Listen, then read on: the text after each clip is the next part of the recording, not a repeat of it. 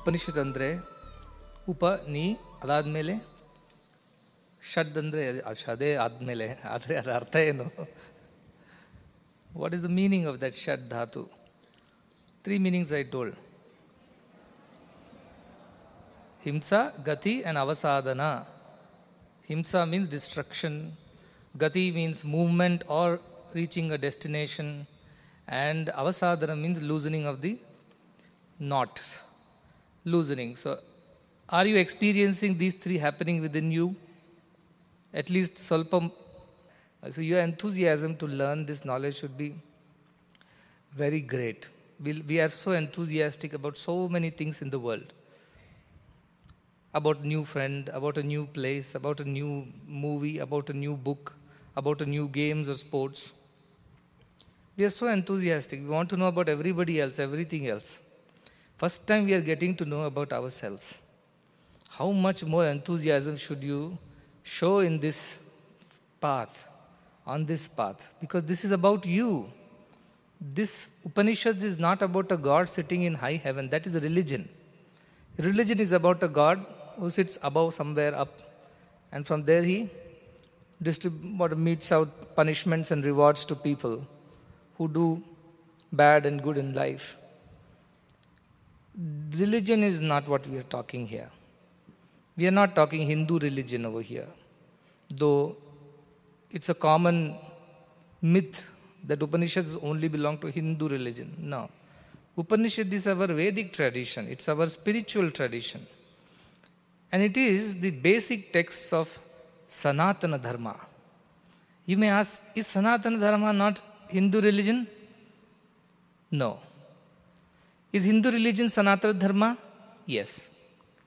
So, Sanatana Dharma is the universal religion. Its approach is global, universal. It encompasses all things within itself. Whereas Hinduism is like a subset of the universal set. Those who have studied Venn diagrams and sets. So, if Sanatana Dharma is considered as the universal set, Hindu religion is a subset. If Sanatan Dharma is Karnataka, Hindu religion is like Chikkabalapura. It's within Karnataka. It has its own weather, it has its own water, it has its own population and things like that. But Sanatana Dharma is far wider. So, how do we learn about Sanatana Dharma? What are the texts? What are the things that we should learn so that we understand Sanatana Dharma? The answer is you must read Upanishads. The Upanishads are only one part of the entire Vedic scriptures, which have four parts. The first one is all the mantras that have been put together. These are all coming together of the mantras that rishis have Om Namo Shivaya or even mantras from Rudram or Narayana Suktam, Ganapati Atharva Shirsham, Durga Suktam, Medha Suktam, everything that you have learned so far. All these are coming together. That is one part. There are samhitas. They are all collection of mantras, not beyond that. And then you have brahmanas. Brahmanas are the various explanations of these mantras. How do you go about performing a ritual along with this mantra? For simple example, if you think you want to worship Ganesha, obviously you're not going to put a Shivalingam there and worship. So there is a god, a deity that goes with a mantra. Gam Ganapataye Namaha means it's for Ganapati. His Mula mantra is Gam. And how is Ganapati? The description is there. Lambodaram, Raktavarnas, Chaturbhujam, Pasha Ankushahastam, Mushakadvajam. Vakratundam, all these descriptions of that God is there. Alongside also, how to worship that God also is mentioned in these scriptures. You have to offer, if you want Ganapati, you can't offer Bilva Patras. Ganapati would not like it. You have to offer huh, Modakas. Because Modaka is that which is favorite of Ganapati. So we make, and then you offer some Kusha grass or Darbha grass, you offer to Ganapati. That is his favorite. When you go and worship Shiva, he's Abhisheka Priya. Ganapati is Bhojana Priya, Modaka Priya. Whereas Shiva is Abhisheka Priya. And there is a particular way of performing Rudra Yajnam or Rudra Homa or Rudra Puja Abhishekas. You have noticed some of this during our Rudra Homas that we perform every year. So there is a methodology to perform that. And then we perform so many other yajna yagas, be it for Lakshmi, Kubera, or be it for health to Dhanvantari, Ashlesha Bali. Then various Navaratri homas in that we perform Durga Homa. All these kinds of things we perform. And each has its own mantras because by now you have performed quite a few homas and yajnas in your own hostels, the Thursday homas. This is all samhitas and brahmanas. Then comes the aranyakas. Aranya means forest. So what do we do in forest? Most of the people earlier times lived in forests and they meditated on things. Because in forest there is not much to do. If you're living in a society, you have a family, you do Agnihotra, you chant mantras, you seek various blessings from various gods. Then you go into the forest in a Vanaprastha ashrama. Or those rishis who are running a Gurukula in a forest. Now they came up with the methodology of Upasana. Upasana means you should be able to meditate on that deity. It's not just about doing uh, mantrodcharana and offering ahuti and doing abhishekas and things like that. There is a bigger idea of, or a deeper idea of meditating on the name and the form of the deity. So when you think of Ganapati, you think of the form of Ganapati. Meditate. But it also says in Ganapati Atharva Shirsham, Sab Brahma, Sab Vishnu, Sab Rudra, Indra, Agni, Vayu, everything you only are. In fact, you are Brahman himself. So this is the meditation part of those mantras. So it's not that they have been written separately, this section is about Vedanta, that section. It's a mix and match of the things. But you, as rishis, they would know these mantras are basically Samhita mantras, these mantras are only Brahmana mantras, these mantras are Aranyaka mantras, and these mantras are Upanishadic mantras. So within the collection of the Vedic scriptures, all these four are there. The Upanishads are the philosophy part of it. The third part is meditation or Upasana Kanda, we call it. Upasana means meditating, thinking. And the fourth aspect is Vedanta, which is the philosophy. The deeper, subtler philosophy of Vedas is Vedanta. Veda Anta. At the end of the Vedas, you may think, no, it's not, it does not mean the end of the book, the last chapter. No. It only means this is the ultimate. Beyond that, there is nothing more to know. You can start with performing rituals, asking for things that you need for your daily life and living. From there, you perform it correctly, don't make a mistake, don't offer wrong things to wrong gods. Then from there, you further go to meditating on the higher reality of God. It's not just about God is not an ATM machine. Put a card, put pin, and then you get money. God is more than that. God is ATM, anytime mukti. Anytime you ask God for mukti, He is ready to give, provided you have some balance with you. If you don't have any balance of all these things, Shama, Arja, Vadaya, Tosha, Satyam, Piyusha, Vadbhaja, then he cannot give mukti to you. That is what Janaka asked, Katham mukti bhavishyati? How can I attain mukti? And Ashtavakra said, first to become eligible by performing all these things, Shama, Arja, Vadaya, Tosha, Satyam. Then you will become eligible, then I can give you. So God is to be asked much higher things, not just the day to day things. That's why Arti, Artharti, Jignasu, Jnani, four kinds of people are there. And all the four find their some relevance to their ways in the Vedas. The Arti problem, some, some artha problem means some health problem. Okay, you perform some Navagraha Homa, or you perform some Ayusha Homa, you perform some Ashlesha Bali, something they will tell you. You do this, this, this. Mrityunjaya Homa for a long life, health, and things like that. And people perform all that. And they perform according to the mantras that has to be chanted correctly, and accordingly they will do the right kind of rituals in the right methodology. When you see the elaborate arrangements they make for the Homa during Navaratri, you will get an idea. For one Homa, he'll make a different chakra. Whole night that uh, Pujari will work Purohita. Beautiful formations he'll come up with and next morning they'll show, show me, and I'll be so impressed because so geometric, so beautiful. And then each of the homa has requires its own samagri, what needs to be offered, how it needs to be offered. So it's a whole methodology. So arti artatis basically are those. Artis are who? Physical problem, mental problem, health problem, some legal problem, social problem, some problem. So they perform yajnas, homas according to that. Then comes Artharthis who are only desiring for wealth, progeny, prosperity, good name, success in business, in life. These are the ideas of these Artharthis. And also they are like heaven also. They, if, if after this world we should go to a good heaven, as you have heard about from Vajashrava who was trying this. So they have their own set of homas. Most popular is Lakshmi Kubera Homa. Pray to Lakshmi and Kubera and they will fill your bank accounts. And all other kinds of homas are there. Then from there you rise. All physical problems are over. All general, whatever is required for life, at that is there with us. Then you start thinking, is this all life is about? Then jignyasa starts. Is there something more to life?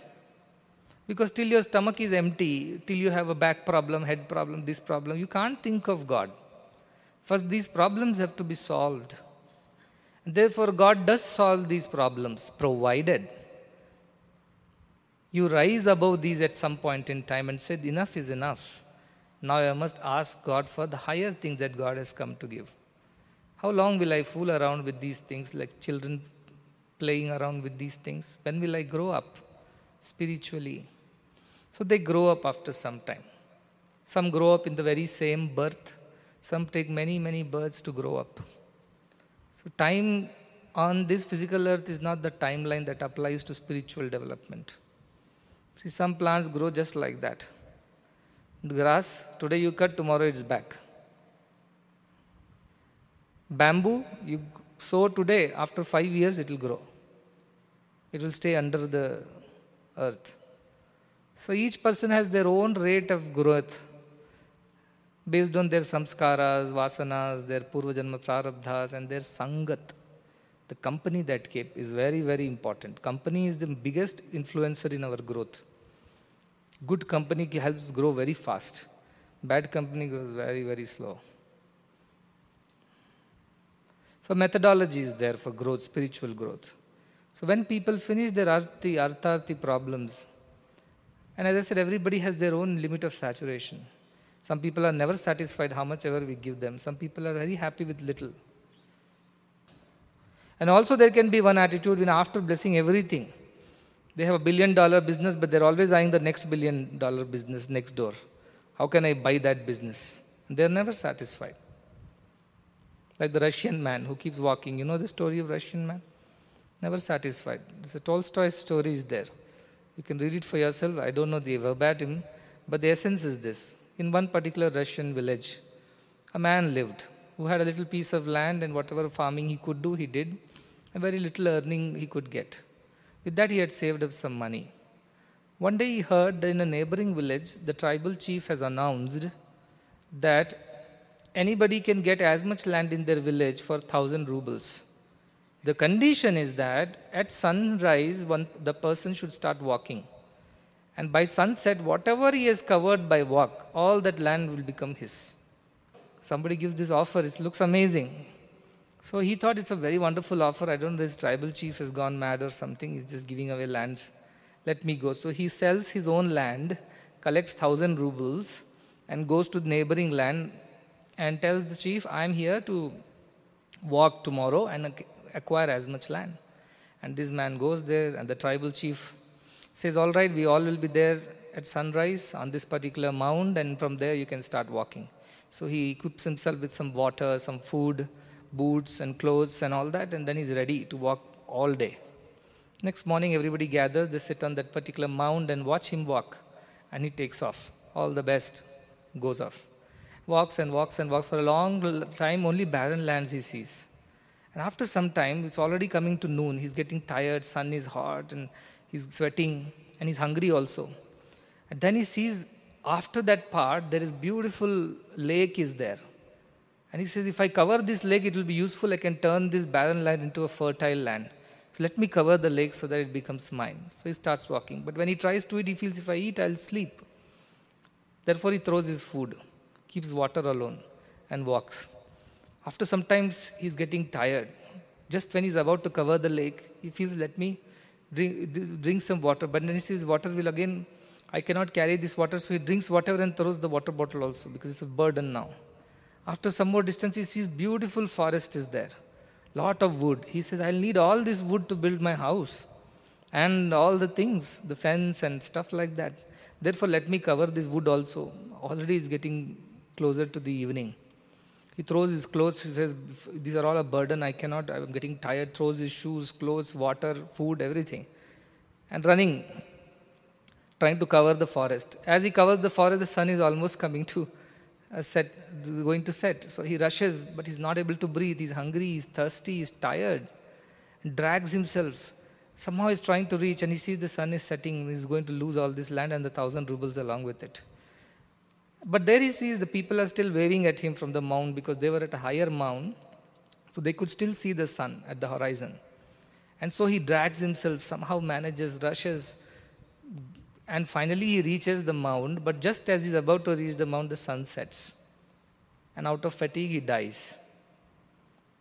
And the tribal man says, Let us donate him a six feet land so that we can bury him. For he has no land left. And he tells, I've never lost thousand rubles in this game. The tribal chief says, Man's greed is like that. He's never satisfied with whatever is given. For there are people like that also. Ultimately, they will lose even their peace of mind, their health, their wealth, their everything, relationships for the sake of that little extra in life. And that extra also won't come, and whatever they have also will go. So, man's greed has no end. That is why Mahatma Gandhi said, There is enough and more for every man's need, but not even one man's greed. So, artharthis are like that. The limit is to be drawn. Where do I draw the limit? Beyond that, I should not. Every time there is a temptation to make that 9900, 100, 200, 200, 1000. It, it is always there. So, therefore, Nachiketa has observed all these things. And after observing, he has come to conclusion this arti artharthi business I don't want to get into. My father is like that, others are like that. But I have realized that the jignasa came in him. I must think of what is the ultimate end to all this. People are born, people die, they go to heaven, they again return, they go to hell, they return back. Is there an end to it? And that is how Jignasu he became. Curious, because he had overcome or he had transcended, he had crossed over the lower ideas of solutions to physical mental problems or comfort and pleasures of life. He had overcome these ideas already in his life. And now he is in the third stage of Jignyasa. That is where a lot of this Jignyasa is settled by the Aranyaka portion of the Vedas where they give a lot of answers to you. However, a jnani will not be satisfied with that. The one who really wants the jnana, he wants to go beyond just meditating on gods and wants to know the absolute truth. And therefore, the Vedanta, it's for those who have already crossed these three stages. Uh, you children will say, Swami, we have not even started on this journey. We're just starting our life. Now, Arti, we have to experience Arti. Yes, you have to experience, go out, suffer, then come to God, then artharthi, earn a little more, and then look at your neighbor and say, He earns more than me, I must earn more, and lose your peace, health, sleep. Then finally, when your hair is grey, you realize, What have I been doing with my life? Swami told me when I was a 15 year old boy, he taught me about Kathopanishad and Nachiketa. Now I'm a 70 year old man. Let me try now. That is why in Taittiriya Upanishad is very beautiful when shloka comes.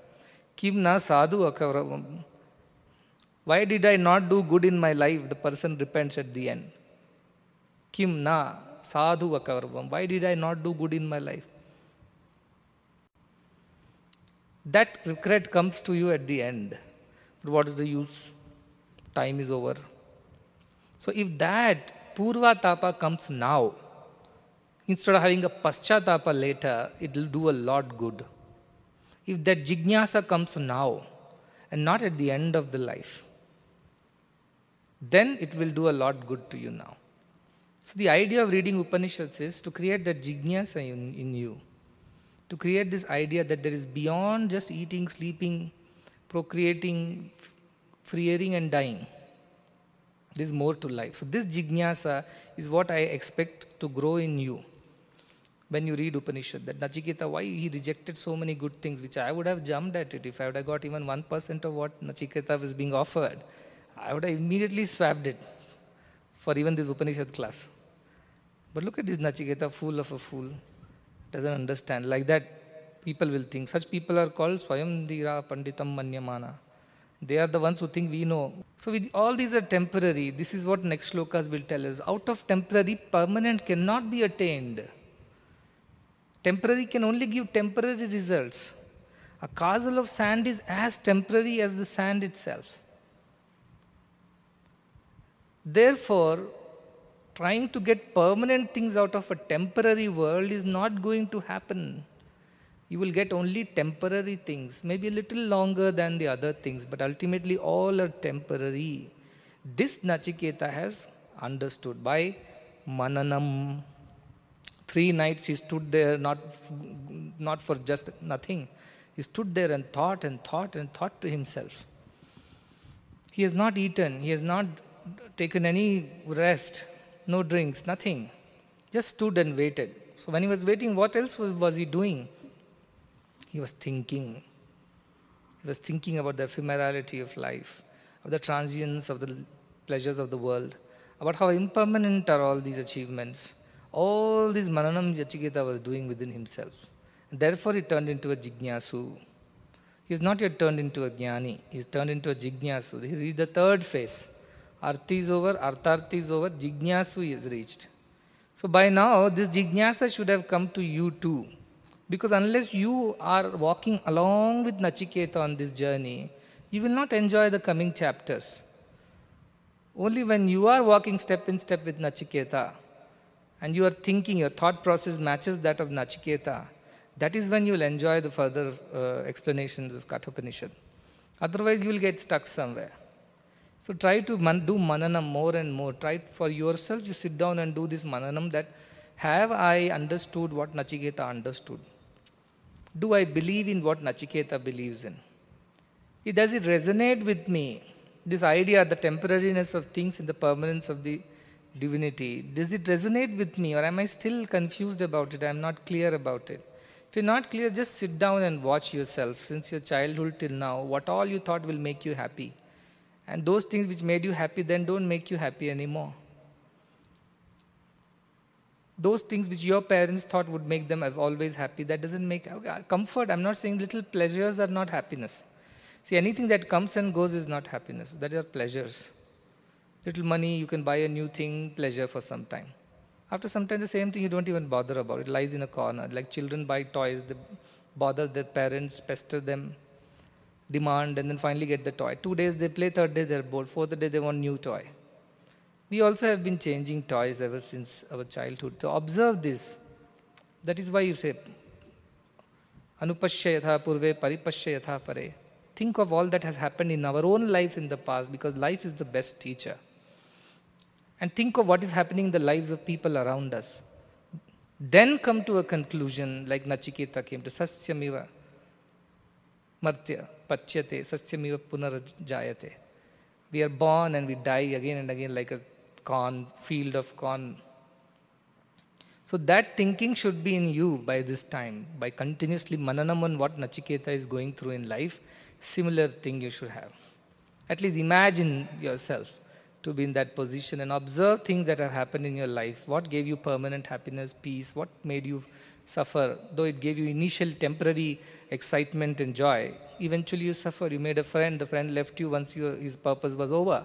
As long as you were good to him and doing things for him, he was happy. After that, he left you. Who's suffering now? You are suffering. Oh, I did so much for him. I did this, I did that, I loved. Okay, all that is fine. But at the end, what did you gain? What was so exciting in the beginning only led to misery. So, Vedanta teaches us how to be out of this misery. Everybody in the world wants to get out of misery. How to get out of the misery once for all is what Vedanta is about. So, why Vedanta is very practical, very important, a must for every person who is on this earth, because it alone teaches us how to get rid of this misery permanently. Nothing else, no other scriptures teach us that.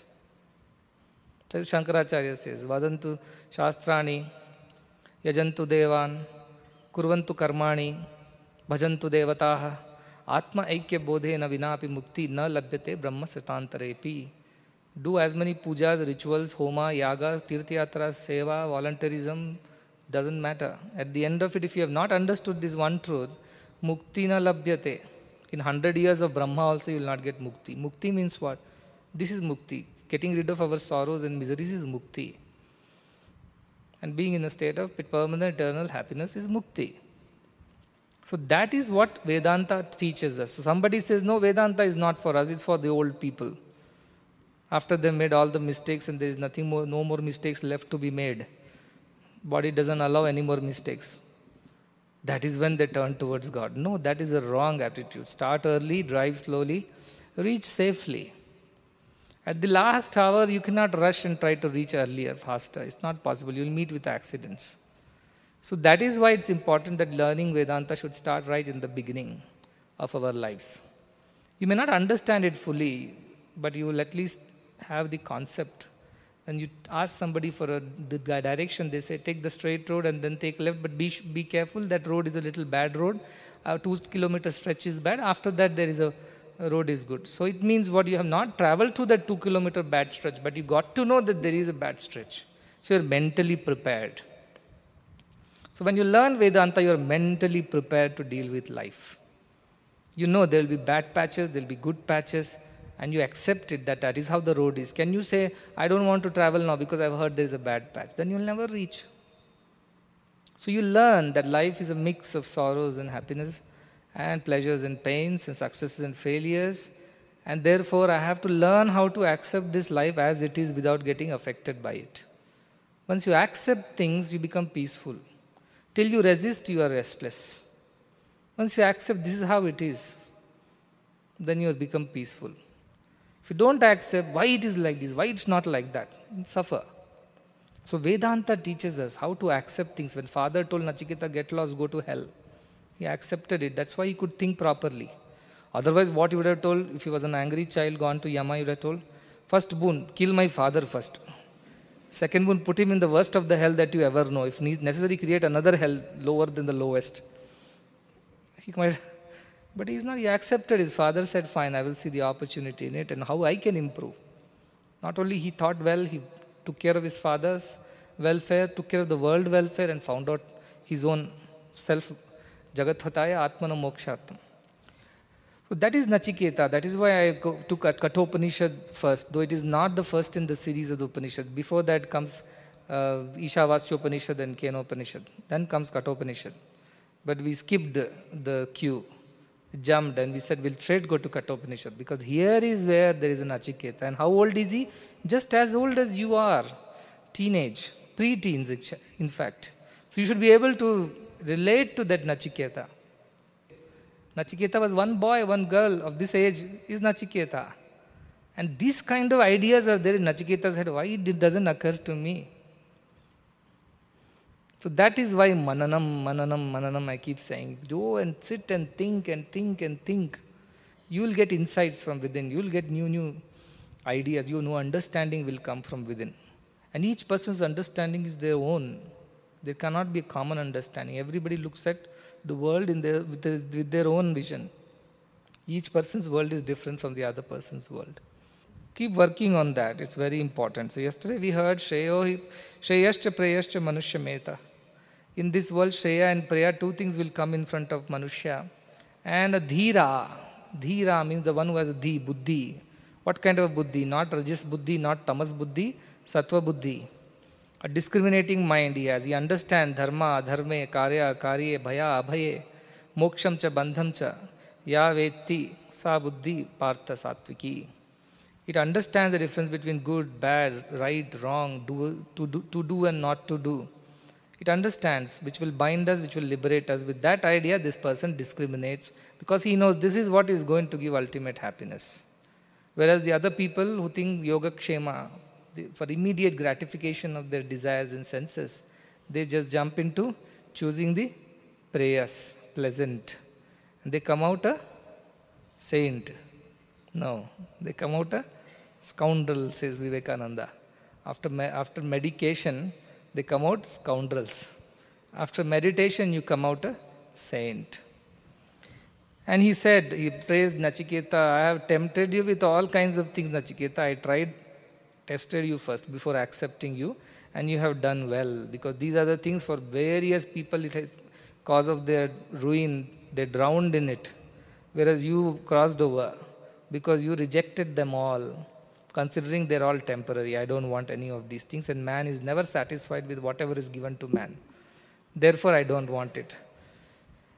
Then he also explains in the fourth shloka that these two are very opposite in nature like heat and cold.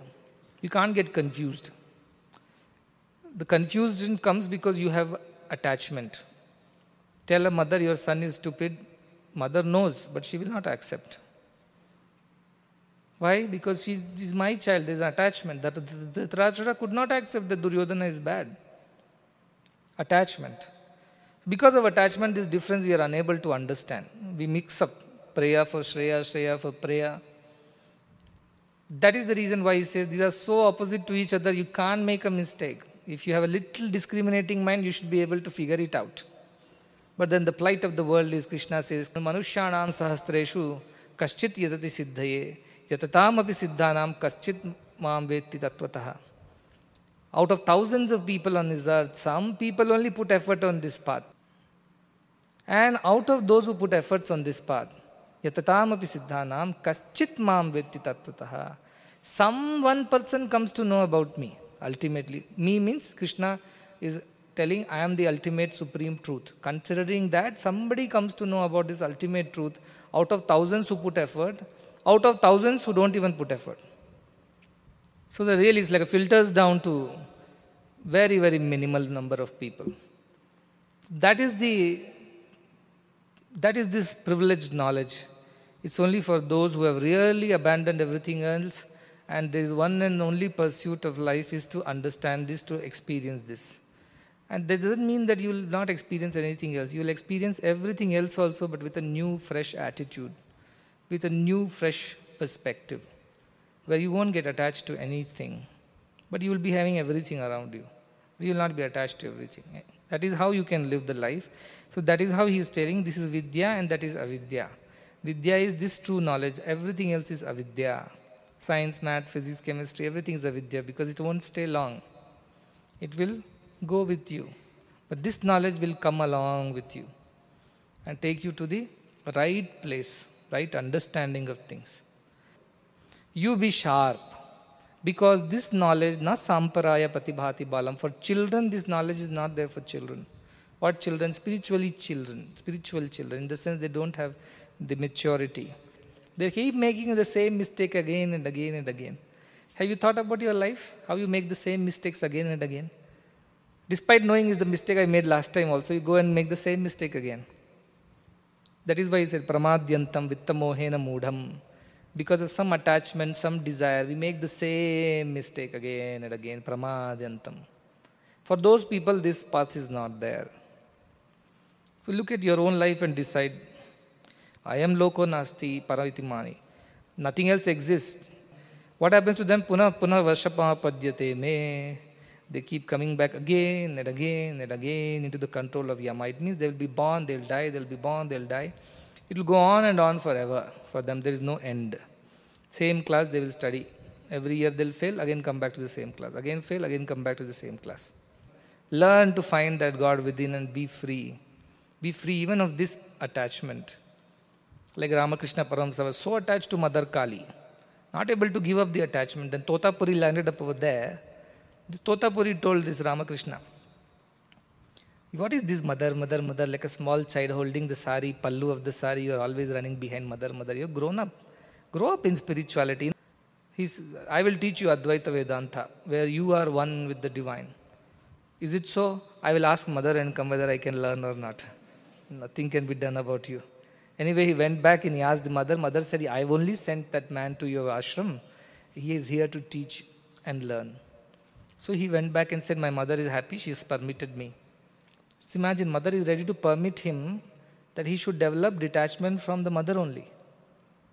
Look at the, so to say, broad mindedness, of wisdom of the mother. She allows him to learn how to get rid of her.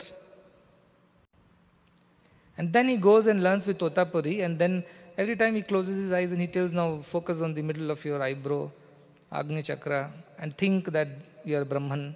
And he tries, and immediately mother appears in his, his mind. Ma, ma, ma, he started crying like a baby.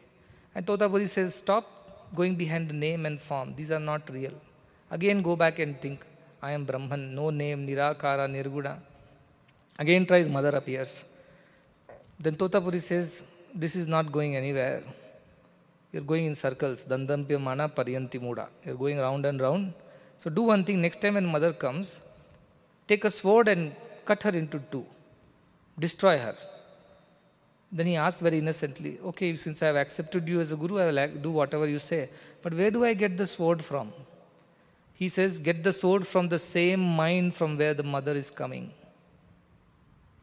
Both are the creation of your mind only. That mother is the creation of mind, the sword also is the creation of mind. So, next time in the meditation, he brings out a sword out of his own mind, imagines that he has destroyed the mother, and mother disappears, and then he goes into the ultimate experience of oneness, where this last layer of form and name also disappears.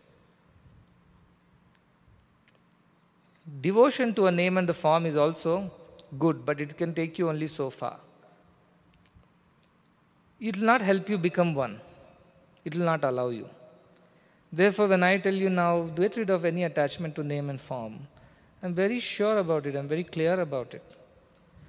So, what happened afterwards, you may ask? Did he continue to worship mother or he left mother? He continued to worship mother with greater understanding and clarity. Now he worshipped mother not as a Devi who incarnated at some point in time and who killed some asuras and things like that. Now he worshipped the mother as the very Parabrahmani. She is the Brahman herself, incarnated in this form.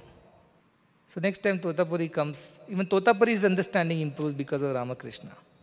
He says, Ramakrishna Paramahamsa got into Samadhi within a second. I took 40 years to practice this. How did it happen? Because his heart had become pure due to bhakti of mother. He had no doership. He was just an instrument of mother, he always thought. So that bhakti already purified his mind. Seva purified his mind. That is what has happened to you. Bhakti Seva you have done, that's already purified your mind.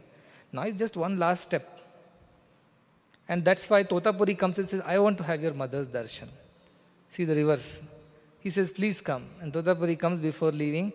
And then Ramakrishna sings and says to Totapuri, The snake that moves and the snake which is lying, both are snakes only. The Brahman that moves in all the beings and the Brahman that is not moving Kutastham, Achalam Dhruvam, both are Brahman only. Sarvatram Gamachintyam cha Kutastham, Achalam Dhruvam. The one who goes everywhere and the one who stays here, both are same. Don't get confused. He teaches Totapuri. So your understanding of Brahman things, Swami, avatars, gods, incarnations will tremendously become clearer after Vedanta. So that is the purpose of ultimately understanding Vedanta. But it is so subtle, it's so difficult. We are so attached to names and forms, it is so difficult to understand this idea. Therefore, the next shloka, seventh shloka. श्रवणायापि बहुभिः यो न लभ्यः शृण्वन्तोऽपि बहवः यं न विद्युः आश्चर्यो वक्ता कुशलो अस्य लब्धा आश्चर्यो ज्ञाता कुशलानुशिष्टः very, very beautiful stanza, very beautiful poetry. Says Shravanayapi Bahubi, having heard it, Shravana, having heard it, Bahubi, in many, many, many ways from many people, Yo nalabhya, this cannot be attained. Shrunuvantopi Bahava, having heard it by so in so many ways, Yamna Vidyu, we have not understood it, we can't understand it. We can't get it.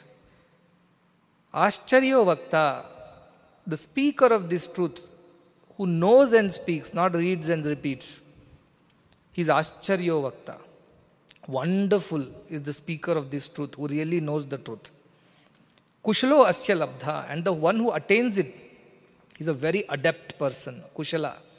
Very fit, very deserving, very adept who attains this.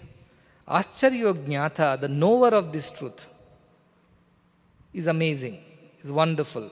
And Kushala Nishishta, and the one who learns from the knower of this truth directly, that person is also Kushala, he's a very perfected person, who, is a very fit person, who is a very deserving person. So this is the criteria to go further in Kathopanishad. What one, you have to first understand how many times you hear it, read it, you're not going to understand this truth. It's not to be understood or learned that way. Just because it's printed in white and black in paper, it doesn't mean that you read it and you'll get it. You will not get it. Then Ascharya Vakta, only if the speaker of this truth is an amazing, realized being who knows this truth, is not simply reading and repeating. Read up some Einstein's theory and repeat it in the class. No. You are that truth which is being taught. Suppose I have to tell you to tell about your brother or sister, your father, mother, or even beyond. Talk about your, talk about some place or some prime minister of some country. How difficult it is for you. You'll have to read up something, learn from somebody, and then come and give a speech. Suppose I tell you, tell about your own self. Do you need any effort? You don't need any effort because you know as you are. So if I tell you just speak about yourself as you are, I am a boy, you'll definitely not get confused and say, whether I'm a boy or a girl. No, no question. You know you're a boy, you are as you are. How old are you? You're not going to get confused. I'm a 70 year old man. No, you are in PUC, you are only a 16 year old boy. There's no confusion about it. I'm fair, dark skin, or I'm tall or short. You have no confusion because you know yourself. So when you know yourself, that is the best way you can tell yourself to others.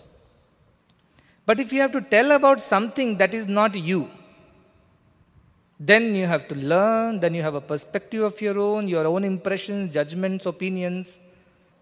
But when you have to tell about something that is not you, that is not about you, then you have to put efforts. And when you put efforts, you may be right efforts, wrong efforts, you may have understood it rightly, wrongly, you never know. Therefore, it says Ascharyo Vakta, Ascharyo Jnata. The one who is the Jnata, the knower, alone can be an Ascharyo Vakta, the speaker of this truth. Because he knows the truth as he knows himself.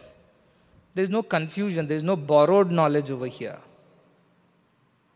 There is no going and referring textbooks and reading and then making a speech and then telling it. Nothing. Do you need to read a textbook to know yourself?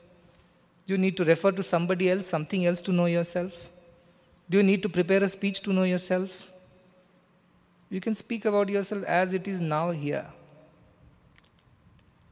Like that, the one who has realized this truth is the jnata of this truth, the knower of this truth. Such a person alone is the vakta of this truth, the speaker of this truth. Anybody else, if he speaks about this truth who doesn't know it, Bahubhir Yona Labhyaha even if you hear from those people as many times you want, you hear Shunvantopi. It's not going to be understood by you, it's not going to be attained by you. This impact will not be the same as the one who knows and speaks from his own knowledge, own experience. Therefore, it is said, Ascharya Vakta. And then to receive that knowledge, you have to be also adept. Kushalo Asya Labda, good teacher, a bad student, knowledge won't happen. A student also has to put efforts to become a kushala, an adept in receiving this knowledge. Once said, understood. Pure minded student, detached student, completely focused on learning. Such a student will learn it like this scattered mind, so many distractions, attachments, desires, and not even a focus on learning this truth. If it comes, comes. If it doesn't come, it's fine. Such a person cannot attain this truth. And Kathopanishad is a beautiful sangama, a combination of a great teacher like Yama, who knows the truth in and out. And there is Nachiketa, Kushala Asyalabdha. The receiver of this truth is Nachiketa, adept. He has taken care of all the things that can come as obstacles in this path of truth. He has taken care of all that thing. He's become absolutely one pointed, focused, concentrated. He has rejected every other distractions of the world that can come in the way. And is now one and only, his only idea is to learn this truth from Yama. So the best of the teacher and the best of the students have come together to give the best of the knowledge here in Kathopanishad. The one who is focused, single pointed, mind is absolutely concentrated, he's rejected all other things that can come in his way of learning. Such a person is Kushala Asya Labdha. That's why I repeat and repeat again and again Are you Nachiketa? Have you developed a little bit of thinking like Nachiketa? Are you able to resonate with the idea of Nachiketa? If you are not, then what you will learn, even if I am the, best teacher, also speaks about it, nothing will go inside you. In fact, between the two, Vashishta, uh, Vashishta Gita, yes, he tells to Rama, when Vashishta is teaching, he says, between the Guru and Shishya, the more important is the Shishya. It is the discerning mind of the Shishya that gets him the knowledge. Even if the Guru is a little feeble, a little Guru is not so perfect, if the Shishya is perfect, he will still attain the knowledge, Vashishta tells to Rama. So between the Guru and Shishya, Ascharya Vakta and Kushla Labda, Kushla Labda is more important than Ascharya Vakta also. That is the seriousness of a, being a student.